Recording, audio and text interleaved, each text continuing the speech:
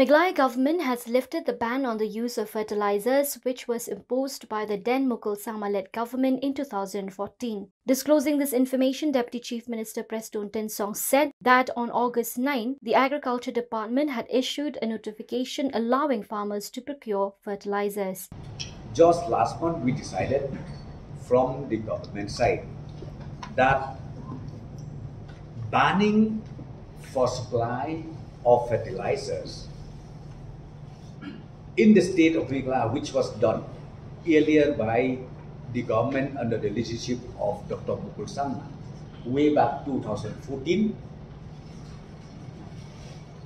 This month, dated 9th August 2022,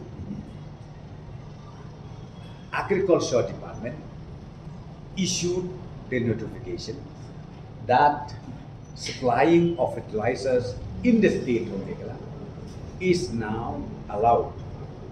Tynsong also said that the matter would be taken up with the Ministry of Chemicals and Fertilizers, Government of India, in Delhi next week, seeking the creation of a separate quota for Meghalaya, where fertilizers will be routed through Meghalaya State Cooperative Marketing and Consumers Federation Limited under the Cooperation Department.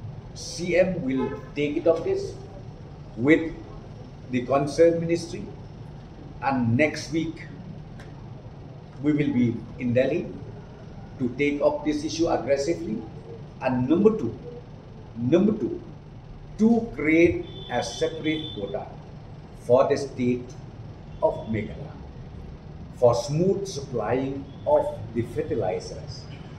And these fertilizers will be ultimately routed through the MECOFED, government of Meghalaya, which falls under the Cooperation Department. Furthermore, the Deputy Chief Minister said that the government has decided to extend a 50% subsidy to farmers for the procurement of such fertilizers and the notification to this effect will be issued next week by the Cooperation Department.